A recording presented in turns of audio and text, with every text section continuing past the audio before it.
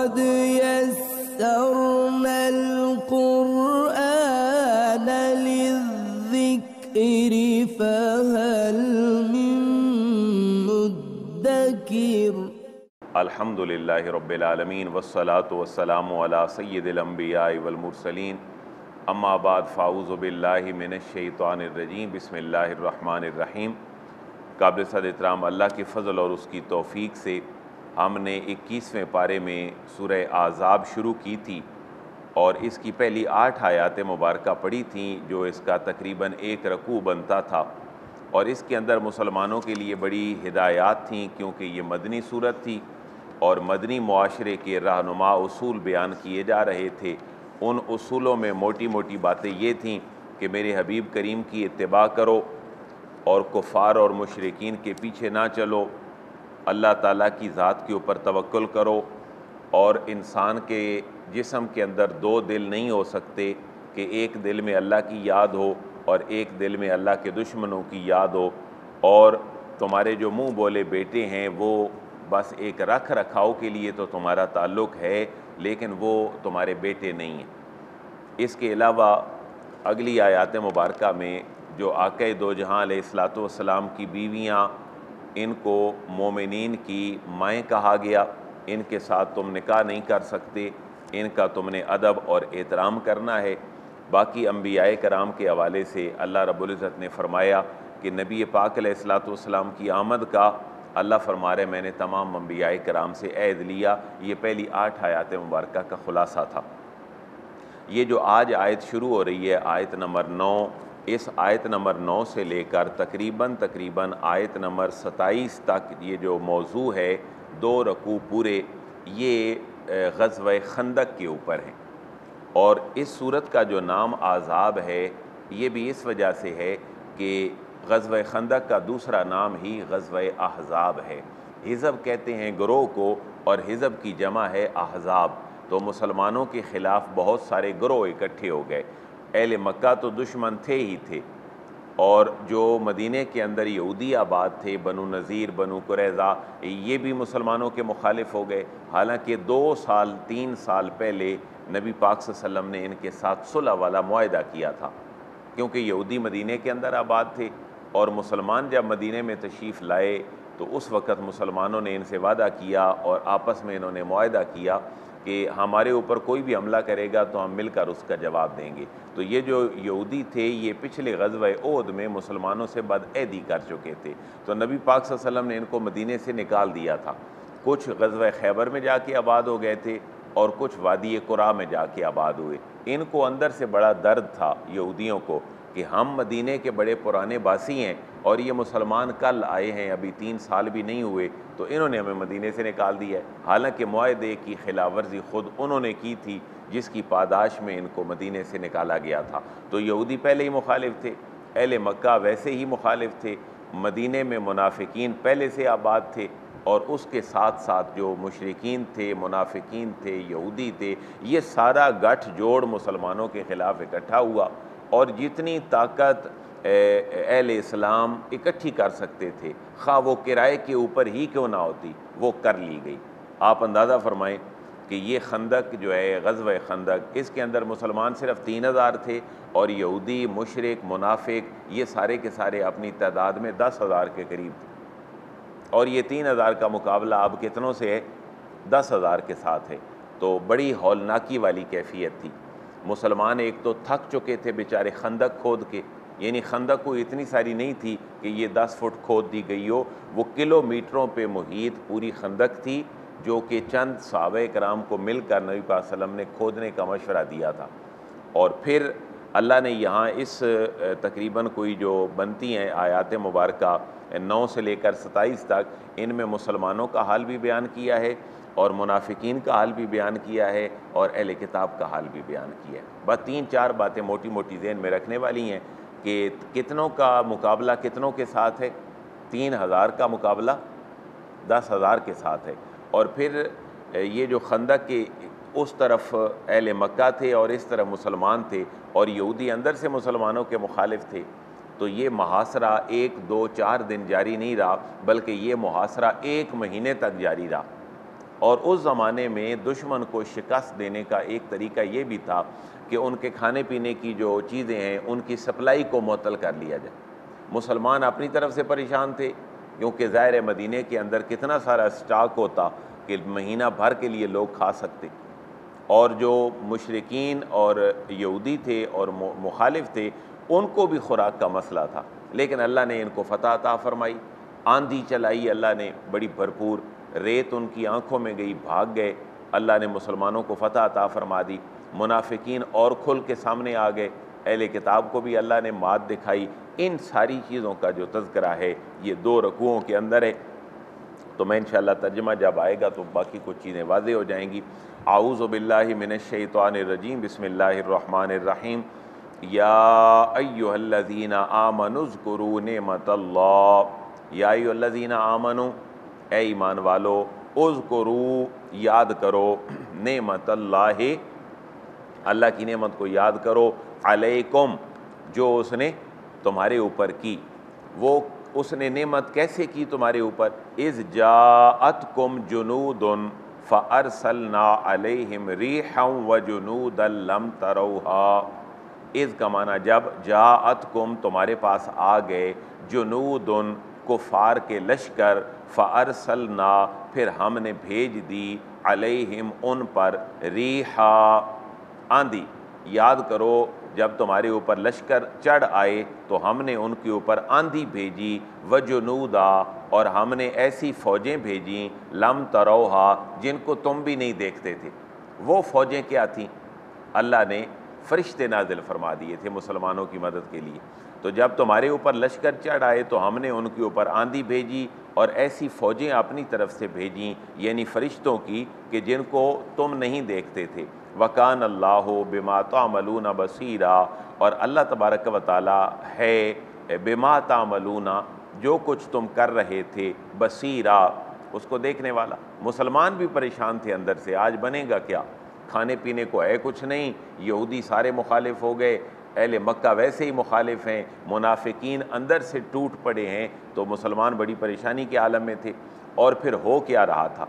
यहाँ दो phrasal verb इस्तेमाल किए गए हैं, जो हम उर्दू में भी इस्तेमाल करते हैं। उनको भी ज़रा कुरान की फसी व बली पहलू का, की नज़र से देखिएगा। इज़ जाऊ कुम मिन फ़ौकुम व मिन असफ़ाला मिन कुम ओ, वो जो लश्कर आए थे कुफ़ार के, उनका आलम क्या था?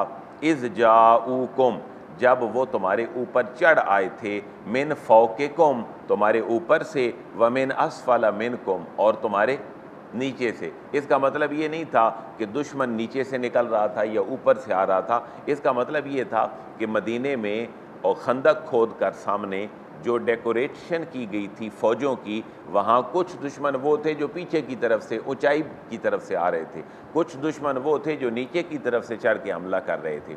तो उन्होंने पूरा अहाता कर लिया था मुसलमानों का तो इस कैफियत का बयान है।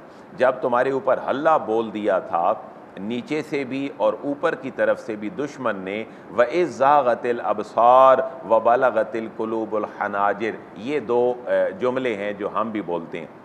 जैसे इंसान को को खौफ और दहशत आती है तो उसकी आँखें चुंदिया जाती हैं। और हम बोलते हैं अमूमन जब दुख बढ़ जाए कि यार कलेजा मुँह को आ गया। ये दोनों कैफियतें मुसलमानों की हो गई। व इज़ागतिल अबसार। और जब दहशत के मारे आँखें पथरा गईं, व बलागतिलकलूबुलहनाजिर व बालागत और पहुँच गए अलकलूब व दिल अलहनाजिर मुँह को। कलेजे मुँह को आ गए और आँखें जो हैं वो चुंदी आ गईं। दुश्मन इतना शदीद था व तजुन्नून बिल्लाजुनूना और तुम अल्लाह के बारे में मुख्तलिफ़ किस्म के गुमान करने लगे, मुसलमान भी करने लगे कि थोड़े आज पकड़े गए हैं ज़्यादा के मुकाबले में। पहले बदर तो जीत चुके हैं, ओहद में सत्तर बंदे अपने मरवा चुके हैं। आज तो खंदक खोदी हुई है औरतें किधर जाएँगी, बच्चे किधर जाएँगे, खाने पीने के लिए है कुछ नहीं तो यहाँ सब का इम्तहान था। व तो जुन्नून बिल्लाजुनूना और तुम अल्लाह के बारे में तरह तरह के गुमान करने लग गए थे। अब ये गुमान मुसलमानों का भी था मुनाफ़ों का भी था, यहूदियों का भी था। उन सब का तस्करा है। वो नाले कब तोली अलमिन वज़ुल ज़िलू ज़िल शदीदा। हो नाले का उस मुकाम पर, उस मौका पर ओब तोलिया आजमाए गए अलमोमिनूना मुसलमान वजुलजिलू ज़िलज़ालन शदीदा और खूब सख्ती से झंझोड़े गए। और इसी से निकला है जलज़ला, क्योंकि जलज़ले में भी चीज़ों को झंझोड़ दिया जाता है, मुसलमानों को खूब झंझोड़ दिया गया और मुनाफ़ों को बात करने का मौका मिल गया। वो मौका क्या था? व इज़ यकूलमनाफ़िकून वाओ का माना और, इज़ का माना जब, यकूलो, कहने लगे, अलमुनाफ़िकूना, मुनाफिक लोग वल्लदीन फ़ी कलूबहिम मरदन, और वो लोग जिनको दिलों के अंदर मर्ज था, वो ये कहने लगे, मा वादन अल्लाह व रसूल इल्ला गुरूरा। मा वादना हमारे साथ वादा नहीं किया, अल्लाह अल्लाह ने, व रसूल और उसके रसूल ने, इल्ला गुरूरा मगर धोखे का हमारे साथ वादा किया था अल्लाह और उसके रसूल ने। वो वादा किया था। इस बारे में भी ज़रा थोड़ी सी एक बात जहन में रख लें। जब खंदक खोदी जा रही थी, उस वक़्त नबी पाक वसल्लम भी खंदक खोद रहे थे। पीर करम शालजी रहमत ने अपनी तफसीर में वो सहाबा के सारे अशार भी ज़िक्र किए हैं और जो नबी पाक वसल्लम शेर पढ़ रहे थे तो एक बहुत बड़ी खंदक, उस खंदक के दौरान चटान आ गई।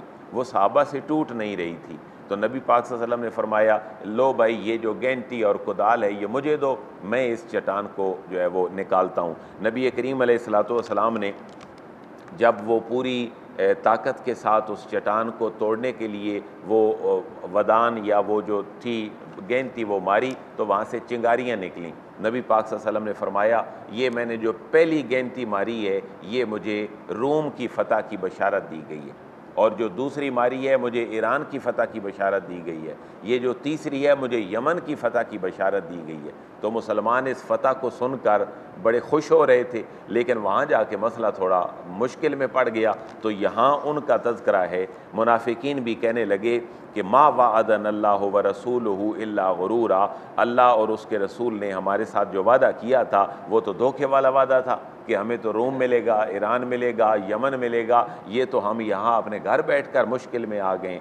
एक और गरोह कहने लगा व इज़ कालत फ़त मिन हम वाओ कमाना और इज़ कमाना जब कालत कहने लगा फ़तन एक गरोह मिन हम उनमें से, या आहला यसरेबा, ला मुकाम लकुम फ़र्ज़ ऊ या आहला यसरेबा, ए यसरब वालो। अच्छा हम भी एक जुमला बोलते हैं, नबी पाक वसल्लम की आमद से पहले शहर का नाम क्या था? यस रब तो यस रब जो है, ये गलत है। असल लफ्ज़ क्या है? यस रेब, ये देखना कुरान के अल्फाज हैं, या आहला यस रेबा। तो असल जो नाम है मदीने का, वो यस रेब था। और यसरिब एक शख्स का नाम था, जो यहाँ पर आकर सबसे पहले आबाद हुआ था। इस वजह से इस पूरे इलाके को यसरिब कहते थे। और इसका माना था बीमारियाँ, और बीमारियों वाला शहर। लेकिन जब आके दो जहाँ सलाम तशीफ़ ले गए तो इसका नाम तब्दील कर दिया गया। और यसरब का नाम मदीना पड़ गया, और फिर मदीना ना रहा, मदीना मुनवरा रहा, और वो मदीना तय्यबा बन गया, मदीना तोबा बन गया। नबी पाक ने इसके बहुत सारे नाम फरमाए। वो जो मुनाफिक थे, वो कहने लगे, या आला यसरेबा, ए यसरब वालो, ला मुकामलकुम अब तुम्हारे लिए यहाँ ठहरना मुमकिन नहीं है। अगर अपनी जान अज़ीज़ है तो फ़र्ज़ ऊ यहाँ से लौट जाओ। ना खाने के लिए है कुछ, दुश्मन चढ़ दौड़ा है तो बच नहीं पाओगे। व यस्ता जिनो फ़रीक मिन होम वाओ का माना और यस्ता जेनो इजाज़त मांगने लगा। फ़रीक मिन होम उनमें से एक ग्रोह अनबिया किस से नबी पाक से। अच्छा वो अपना मुनाफिकीन उज़र क्या पेश करने लगे? कि हजूर, हमारे घर अकेले हैं, घरों में है कोई नहीं छोटे छोटे बच्चे हैं, काफ़ी दिन हो गए यहाँ तो हमें अपने घरों को जाने दें, हमारे घर गैर महफूज हैं। अल्लाह फरमा रहे महबूब, इनके घर गैर महफूज नहीं हैं, इनके ईमान कमज़ोर हैं, आपका साथ देने के लिए तैयार नहीं है। वयस्ता ज़ैन फ़रीक मिन हमनबिया उनमें से एक ग्रोह इजाज़त तलब करने लगा, नबी पाक सलाम से, यकूलूना वो कहते क्या थे? इजाज़त मांगते हुए, इन्ना बुजूत ना और। इन्ना का मानन बेशक बुजूत ना बैत की जमा है। बुयूत घर, ना हमारे। ए अल्लाह के नबी, हमारे जो घर हैं, और, वो गैर महफूज हैं। मुनाफिक कहने लगे, हजूर, हमारे घर गैर महफूज हैं। बच्चे और औरतें अकेली हैं, हमें जाने दें। अल्लाह फरमा रहे वमा है या बेऔरा महबूब इनके घर गैर महफूज नहीं हैं, इनके ईमान कमज़ोर हैं। इन युरीदून इल्ला फ़िरारा। इन युरीदूना ये सिर्फ़ इरादा रखते हैं फ़िरारा, भागने का।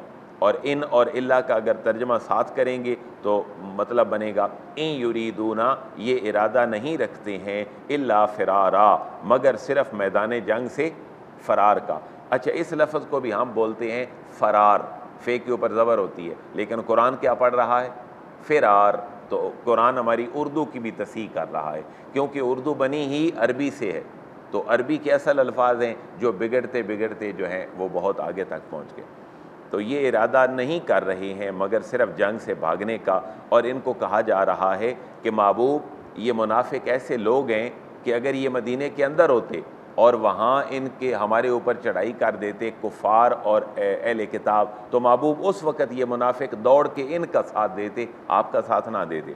वलो दो खिलत आलम मिन अकतारहा व कमना और लो अगर दो खिलत दाखिल कर दिए जाते अलहिम इन पर मिन अक अकतारहा, मदीने के जो अतराफ़ और जवानब हैं वहाँ से कुछ लश्कर अगर हम दाखिल कर देते मदीने में, सुम्मा सो एलू फिर सवाल किया जाता इनसे दरख्वास्त की जाती अलफितना था फितना अंगेज़ी में, इस पूरे मामले में कि मुनाफ़ो अब तुम्हारा क्या हाल है? तो ला तोहा तो ए हबीब करीम, फिर ये ज़रूर वहाँ उनको आ लेते और उनकी शिरकत को कबूल कर लेते। वमा तलबसू बिहा इल्ला यसीरा। वाओ का माना और, माँ का माना नहीं तलबसू ठहरे। व मा तलबसू और महबूब ये नहीं ठहरे, या ये कभी भी ना ठहरते, बिहा वहाँ इल्ला यसीरा, मगर बहुत कम। और महबूब मुनाफ़ों का हाल ये है कि वलकद कानू आहदुल्लाह मिन कबल युवल्लून अदबार वकान आहदुल्ला मसूला महबूब ये जब जंग के लिए निकलने लगे थे तो मुनाफ़ों ने आपके हाथ के ऊपर हाथ देकर वादा किया था कि हम तो मैदान जंग से नहीं भागेंगे, और महबूब आज मुनाफिक भी मैदान जंग से भाग रहे हैं। वलकद कानू, हालाँकि यही लोग थे, आहदुल्लाह जो अल्लाह ताला से वादा कर चुके थे, मिन कबल, इससे पहले वादा क्या था? ला युवल्लून अदबार, ये पीठ नहीं फेरेंगे और भागेंगे नहीं मैदान जंग से। वकान आहदुल्ला मसूला और अल्लाह ताला से जो वादा किया जाता है, उसके मतलब ज़रूर सवाल भी किया जाता है। लिहाजा मुनाफिक इस बात को भूल गए हैं कुल यनफ़ाकुमुल फ़िरारो, इन फ़रर तुम मिनल मौत, अविल कत्ल, व इज़ल्ला तुमत्ताऊन इल्ला कलीला। ये मुनाफ़ों को एक स्टेटमेंट दी जा रही है कि ए मुनाफ़ो इस महीने भर के मुहासरे में तीन हज़ार मुसलमानों की, दस हज़ार अहल इस्लाम के साथ जो मुखालिफ हैं, उनके साथ जंग में अगर तुम भाग भी गए तो क्या तुम मौत से बच जाओगे? मौत तो तुम जहाँ भी होगे, तुम्हें आन लेंगी। अगर यहाँ आनी है तो शहादत की आ जाएगी। और अगर वहाँ जाके आएगी भागते हुए तो फिर हलाल की भी नहीं, वो तो मौत भी हराम की होगी। कुल, ए हबीब मुकर्रम, आप फरमा दीजिए, ए भगोड़ो, ए मुनाफको लई यन फ़ाकुमुल फ़िरार। नफ़ा नहीं देगा तुम्हें अलफ़िरारो फ़िरार होना। भागना तुम्हें नफ़ा नहीं देगा। इन फ़रर तुम मिनल मौत। अगर तुम मौत से भागना भी चाहते हो, अविल कत्ल या कत्ल होने से भागना चाहते हो तो तुम्हें कुछ फ़ायदा नहीं होगा। अगर भाग कर तुमने जान बचा भी ली तो क्या होगा? वह इज़ल्ला तो मत्तऊन अल्ला कलीला। वाओ का माना और, इज़ान का माना है तब, ला तो मत्तऊना तुम लुत्फ़अंदोज़ नहीं हो सकोगे, इल्ला कलीला। मगर बड़ी थोड़ी सी मुद्दत। आज तो भाग जाओगे, लेकिन अल्लाह के नबी को यहाँ छोड़ जाओगे, मुसलमान साहबा को यहाँ छोड़ जाओगे, अल्लाह की जो फरिश्तों की मदद आई है, उसको यहाँ छोड़ जाओगे तो फिर चंद रोज़ा और ज़िंदगी बसर कर भी लोगे, लेकिन तुम्हारा जो नतीजा है, वो कुछ बेहतर नहीं निकलेगा। तो ये आयत नंबर जो सोलह थी, यहाँ तक मुनाफिकीन का तस्करा है और अभी मज़ीद मुनाफिकीन का तस्करा आगे चल रहा है। यहाँ से पता क्या चल रहा है? इस्लाम को और मुसलमानों को गैरों ने तो नुकसान पहुँचाया ही है, अपने लोगों ने भी नुकसान पहुँचाया। ये मुनाफिक कौन थे? काफिर नहीं थे, अहल किताब नहीं थे। मुसलमानों के अंदर से ही वो लोग थे जो अल्लाह और उसके रसूल के लिए अंदर से साफ़ नहीं थे। तो इनका तस्करा देखे ना काफरों का तस्करा अल्लाह ने थोड़ी आयात में किया है। और गजब खंदक में मुनाफिकीन के तस्करे पे अल्लाह ने इतनी आयातें उमर का ज़िक्र कर दी। अभी मज़ीद आगे आएँगी। आप अगली आयात देखेंगे। मुसलमान तो अपनी जगह पे परेशान थे, लेकिन मुनाफिक मज़े ले रहे थे। हजूर, हमारे घर कोई नहीं है। हम भी कभी कह देते हैं ना, जी, दो बंदे लड़ रहे हों या परेशान हो यार, मैं ज़रा घर की खबर ले आवा, घर कोई नहीं। बच्चे छोटे छोटे घर ने तो घरों ज़रा देख हम बस यही तरीका था जो मुनाफिकीन ने भी अपनाया था। इन बाकी जो आयात हैं अगली, वो ज़िंदगी रही तो अगले सेशन में देखेंगे। अल्लाह खैर की तोफ़ी कता फ़रमाए।